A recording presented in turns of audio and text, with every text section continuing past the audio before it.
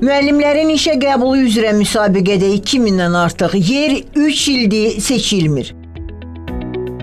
Bunu Məktəbə qədər və Ümumi Təhsil üzrə Dövlət Agentliyinin Ümumi Təhsilin Təşkili şöbəsinin müdir müavini Nurlan İsmailbəyli jurnalistlərə açıqlamasında deyib. O bildirib ki, heç bir müəllimin müraciət etmədiyi bu vakant yerlərə əsasən ucqar rayon məktəblərindəki Azərbaycan və Rus bölməsindəki bəzi fənlər daxildir. Burada həm mərkəzdə yerləşən məktəblər var, həm ucqarda yerləşən məktəblər var, həm Azərbaycan bölməsindən olan vakansiyalar var, həm Rus bölməsindən olan vakansiyalar var. Yəni düşünün də 40 balı keçmiş, müvafiq keçid balını toplamış hər hansısa bir namizəd belə seçmiş olsaydı həmin bu 2000 vakant yerdən birini, o müsahibədən də keçib o müəssisədə daimi müəllim adını qazanacaqdı.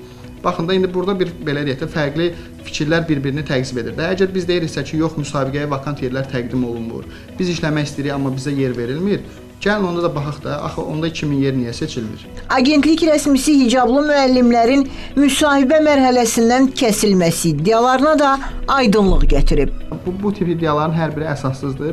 Burada məqamlardan biri ondan ibarətdir ki, fərqli komissiyalar, 30 müxtəlif komissiya e, burada fəaliyyət göstərir. Hə, həmin komissiyalarda prosesdən əvvəl və proses boyunca da e, günün yekunlarına bağlı, müşahidələrlə bağlı öz qeydlərimizi çatdırıb. Bu tip iddialar həmişə olub, bundan sonra da yəqin ki olacaq, amma yenə də qeyd etdiyim kimi bizim hansısa belə spesifik ayrımımız yoxdur ki, namizədlərə hansısa bir kriteriyalarla qiymətləndirək. Nurlan İsmailbəyli sertifikasiyadan kəsilən 700 müəllimin işlə təmin olunmasına da diqqət çəkib. Bildirib ki, onlar sosial həssas kateqoriyadan olan müəllimlərdir.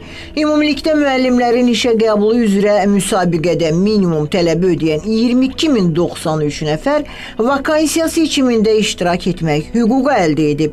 Müsabiqəyə 10592 vakant yer təqdim olunub. Sevinç Vaqif qızı Cabbar Qaryağdıoğlu Xəzər xəbər.